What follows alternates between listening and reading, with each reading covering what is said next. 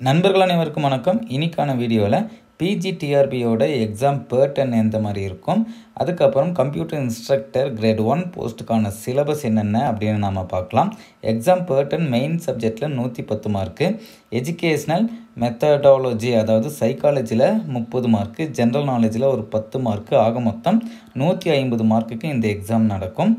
Previous எக்ஸாமினேஷனில் main சப்ஜெக்டே நூற்றி முப்பது mark கேட்டிருந்தாங்க. சைக்காலஜி ஒரு பத்து மார்க்கு ஜென்ரல் நாலேஜில் ஒரு பத்து மார்க்கு ஆக மொத்தம் நூற்றி ஐம்பது மார்க்குக்கு கேட்டிருந்தாங்க. அதுக்கப்புறம் மினிமம் எலிஜிபிலிட்டி மார்க்கை பார்க்கலாம். SC SCA candidate forty five percentage mark எடுத்தாகணும். நூற்றி ஐம்பதுக்கு அறுபத்தி ஏழு மார்க் எடுக்கணும். ST candidate forty percentage mark எடுக்கணும். அதாவது ஒன் ஃபிஃப்டிக்கு சிக்ஸ்டி மார்க் எடுத்தாலே போதும். அதர் கேண்டிடேட் என்ன பண்ணணும்னா ஒன் ஃபிஃப்டிக்கு செவன்ட்டி ஃபைவ் மார்க் எடுத்தாகணும். ஃபிஃப்டி பர்சன்டேஜ் மார்க் இந்த மார்க் வெறும் பாஸ் மார்க் மட்டும்தான். உங்களுக்கு வேலை கிடைக்கணும் அப்படின்னா உங்கள் கேட்டகரி வைஸில் நீங்கள் மெரிட் லிஸ்ட்டில் இடம் பெற்றிருக்கணும்.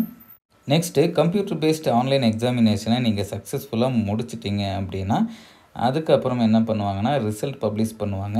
ரிசல்ட் வந்ததுக்கப்புறம் ஒன் நெக்ஸ்ட்டு டூ ரேஷியோவில் கூப்பிடுவாங்க. எதுக்குன்னா சர்டிஃபிகேட் வெரிஃபிகேஷனுக்காக கூப்பிடுவாங்க. நாற்பத்தி நாலு வேக்கண்ட்னா ஒரு தொண்ணூறு பேரை கூப்பிடுவாங்க. அந்த தொண்ணூறு பேரில் நீங்கள் மெரிட் லிஸ்ட்டில் வந்துட்டீங்க. அந்த தொண்ணூறு பேருக்குள்ளே வந்துட்டீங்க அப்படின்னா நீங்கள் சர்டிஃபிகேட் வெரிஃபிகேஷனுக்கு எலிஜிபிள் தான்.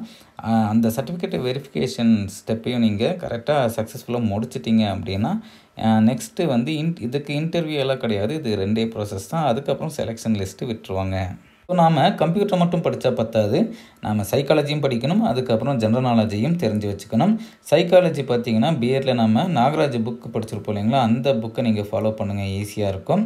ஜென்ரல் நாலேஜு சைக்காலஜி இந்த ரெண்டுமே இந்த டாபிக் கவர் பண்ணுற மாதிரி பார்த்துக்கோங்க. சிலபஸ் வைஸ் நீங்கள் படிக்குங்க. ஏன்னா எல்லாமே படிக்க முடியாது. அதற்கான டைமும் நமக்கு இல்லைன்னு இந்த சிலபஸ் நானாக கொடுக்கல.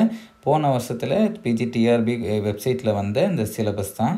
ஸோ மெயின் சப்ஜெக்ட்டுக்கான சிலபஸ் கீழே டிஸ்கிரிப்ஷனில் லிங்க் கொடுத்துருக்கேன் அதை நீங்கள் கிளிக் பண்ணி பார்த்துக்கோங்க. இந்த வீடியோ உங்களுக்கு பிடிச்சிருந்தால் லைக் பண்ணுங்கள் ஷேர் பண்ணுங்கள் இதுபோல் பல சுவாரஸ்யமான தகவலுடன் உங்களை மீண்டும் சந்திக்கிறேன். நன்றி.